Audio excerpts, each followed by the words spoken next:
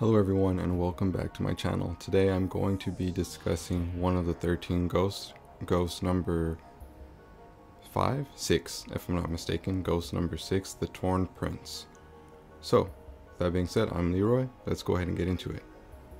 So Royce Clayton was born in 1940 and at the age of 17 he was a star player on his high school baseball team. He was so good that every college in the country wanted him to attend their colleges so that he could join their teams. They were all offering him first class tickets out of his very small town. That was kind of miserable for him. One day, a local greaser challenged him to a drag race, and Royce was able to hold his own for the first mile of the race, but then he suddenly lost control of his vehicle, and his hot rod flipped over three times before bursting into flames. His peers watched in horror as the flames engulfed their fallen hero. Royce's remains ended up being buried in a small plot of land overlooking his beloved baseball field that he used to play baseball at. Royce becomes a ghost in his afterlife, armed with a bat that he uses to swing at the living.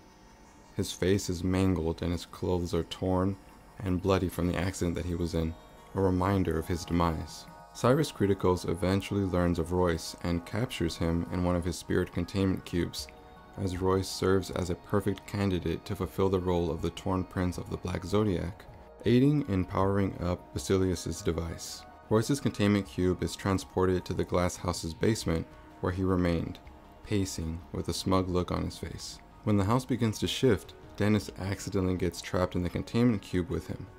Royce begins attacking him, sending him flying back with a swing of his bat. Maggie, who was with Dennis and is able to see Royce using the spectral goggles, helps him to avoid the swings of the bat and maneuver himself out of the cube just in the nick of time.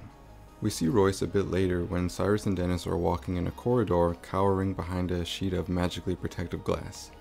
Royce appears before them swinging against the glass very aggressively, but they're able to get away from him in the end. When the Latin spells are played throughout the house, Royce, being a spirit, has no choice but to obey the chants, manifesting in the center of the house alongside the other 11 ghosts, frozen in place on the wheel of the Black Zodiac and the spot marked by the symbol of the Torn Prince. When Maggie disrupts the chanting of the spell, Royce is able to move about freely, and he, along with many of his fellow disgruntled spirits, lift Cyrus up over their heads as a group, and then they throw his body into the shifting metallic rings of the Basileus device, chopping him into many pieces, and making him look like a friend of the torso. The house explodes, shattering all of the magical barriers that had kept the ghosts trapped within the confines of the not actually a house house. The ghosts all wander out into the world, and at least one of the ghosts cross over. Whether or not Royce did, however, remains a mystery. Thank you for listening to my video discussing the Torn Prince, or rather just rehashing and telling the story of his existence as a boy and then as a ghost. Thank you for watching, thank you for listening, and if you want more 13 Ghost content, then by all means subscribe because there's plenty more to come. If you like the video, give it a like, and if you have something to say, please leave a comment down below.